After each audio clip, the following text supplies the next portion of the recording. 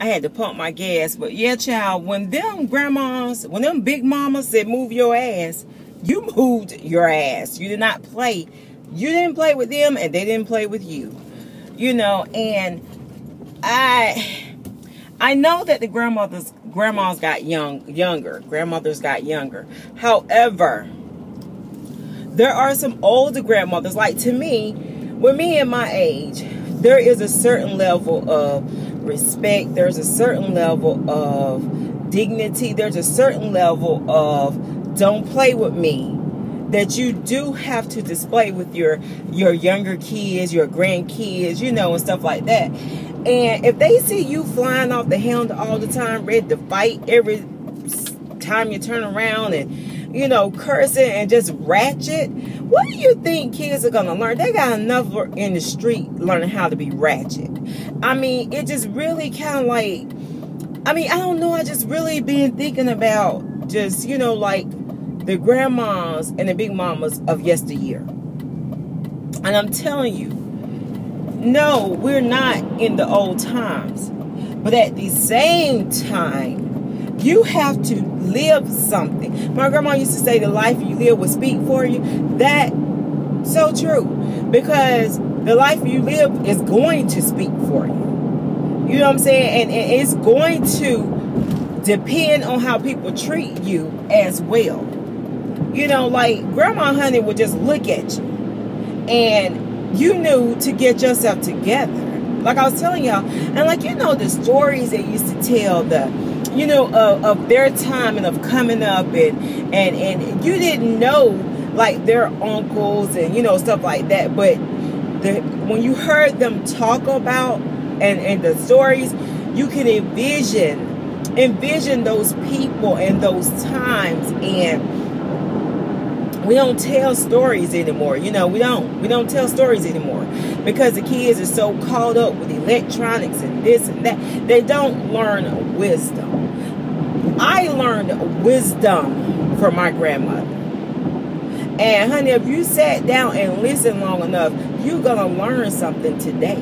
We can always learn. You're never too big to learn. I learn something new every day. Like for real. I'm always learning something new. And like, don't be afraid to ask. If you don't know something, ask somebody. I don't. It be times I'll be like, yo, I, hey, what's so and so and so so? Because I don't know. I don't know. It's better for me to say I don't know than opposed to me trying to fake it and you really don't know. But you know, those of you that that that that are of age, grandmas, big mamas and you know what? They produced great harvest. Those big mamas, look at us. You know, they produced great harvest.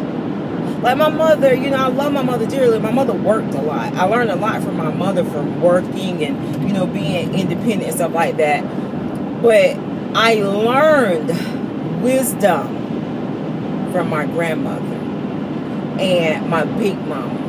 And you as well can do the same thing for your grandchildren. You know, for for somebody else children, you may not have kids, but for somebody else kids, you could do the same thing, the exact same thing. You know, you could be a big mama. And a big mama is just, hey, we got boundaries. Don't step across that line. It's hot over there. Don't touch that. You're gonna get burned. Big mamas. They they kept they fed you information all the time my grandmother had so many sayings, y'all, and so many like I as a kid, you know, just growing up in the country, my life was good because she she instilled so much richness and joy into my life that if I didn't have, I didn't even know I didn't have. You know what I'm saying? Because the, the, the self-esteem the my grandmother was like, yo, she was like my cheerleader. It was like a time in my life, y'all, where I was depressed. I was a teenage mother. I was depressed because I felt like I was the worst person in the world. And my grandmother said to me, honey, hold your head up high. I mean, she would, y'all, it were times I was down in the dump mentally. and she would pick me up out of that dump. You somebody, hold your head up high. Don't look at other people. Honey, get yourself together. Don't feel sorry for yourself. You could do anything. Go out there. I mean, y'all, she, yo, it was like, seriously, seriously. So as a teenage mother, I was depressed because I couldn't get to school sometimes like I wanted to because I had a child. And my grandmother took over basically raising my child for me. Like he would go stay with her Monday through Friday. Y'all, I miss my baby so much so it was it would kill me because this is my oldest son. When I would I had my son at 15, very young. Very young. Didn't even know nothing. Listen to your children y'all. Listen to, i don't i don't blame my mom for anything. It was my fault. I was young. But i asked my mom for birth control and she told me no. She was like and back then you know they didn't they didn't listen. You know um, if i give you birth control that's the same thing as saying that, that you could do it. No it's not. That was protecting myself. I didn't know. Like I really didn't know much, to be honest. I was a country girl. We moved to the city, and when we moved to the city, which was Raleigh, it was just a lot of stuff that I didn't know as a country girl. You know, I didn't know. But my grandmother, y'all, yo, there would be times I would be crying, honey, upset. Honey, don't cry about it. Pray about it. I mean, those are the things. So as a big mama, yo, it, it was priceless because she built me to be a strong person. Never let nobody steal your joy. I mean, you know, like, because this joy that I have, the world don't give you joy. The world does not give you joy. The world does not give you peace. My grandma used to always say, honey, it's nothing like peace. And she is so, she was so right. I'm saying a lot of people didn't get the nurturing from a big mama. A big mama, hey, she puts you on your right path.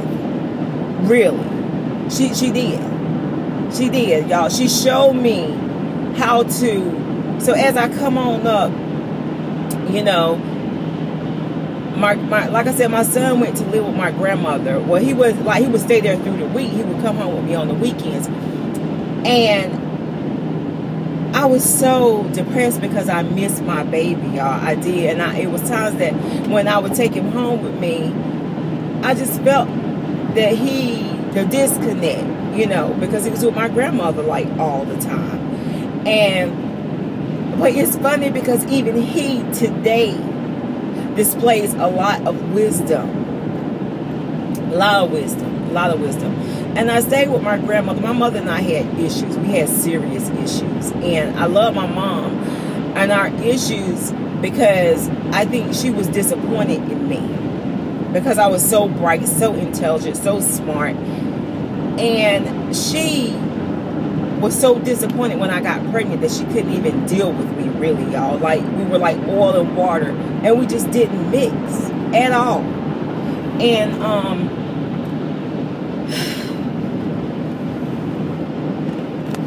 it was it was it was just it was a lot you know and, I, and i'll tell more.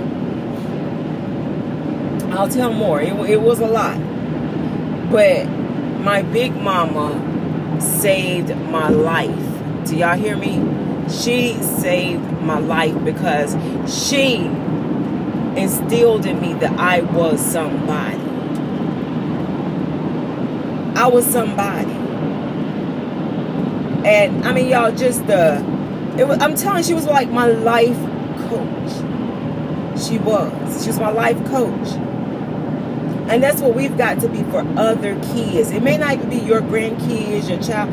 You've got to stop as an elder in your family and an elder or responsible one in your family because it may not be you're an elder in your family you may be the responsible one in your family and you've got to assess the need and when you assess the needs, you will stop and see that the need is great for a big mom. So you may not even be old, but you may be the one.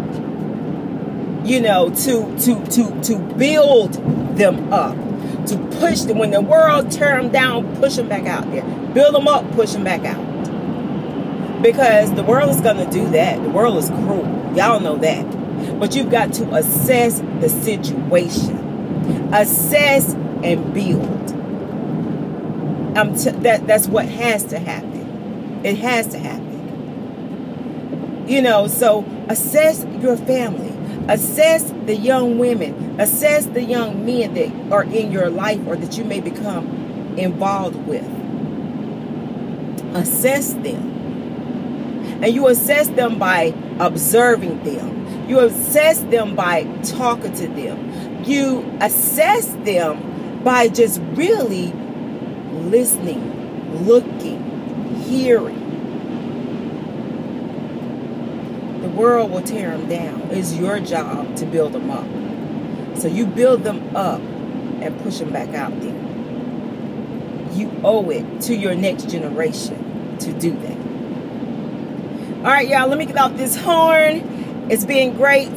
I'll come again. Y'all, I have plenty of stories to tell because life has not always been peaches and cream for me. Um, it really hasn't. It's been good, but there were some bumps along the way. All right, y'all, and I will holler at y'all in the next video. All right, stay tuned for more, all right, y'all.